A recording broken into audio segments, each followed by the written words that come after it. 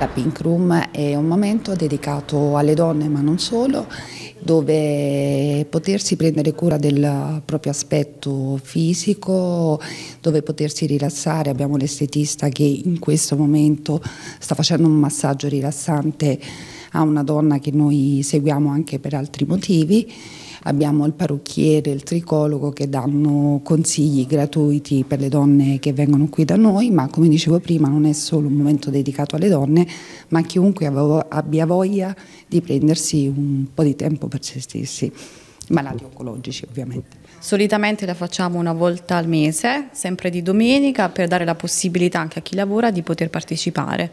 Fino a quando? E speriamo per sempre, insomma.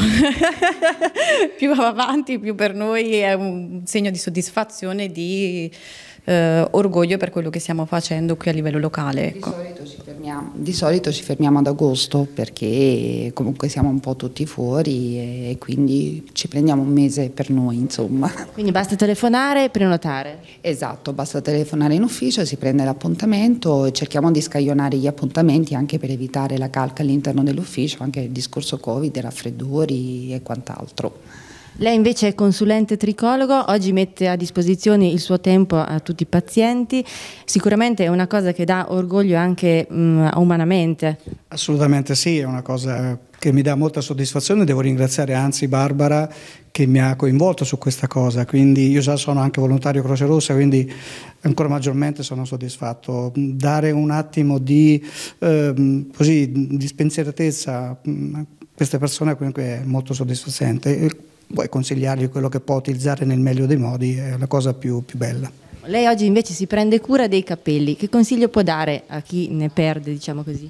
Beh, in questo periodo sicuramente i capelli cadono eh, di conseguenza della chemioterapia e quindi mh, prevalentemente valutare quando tagliarli, come tagliarli e uh, lasciare i capelli e la cute sempre idratati con i giusti prodotti, i giusti prodotti specifici e shampoo che non siano troppo aggressivi.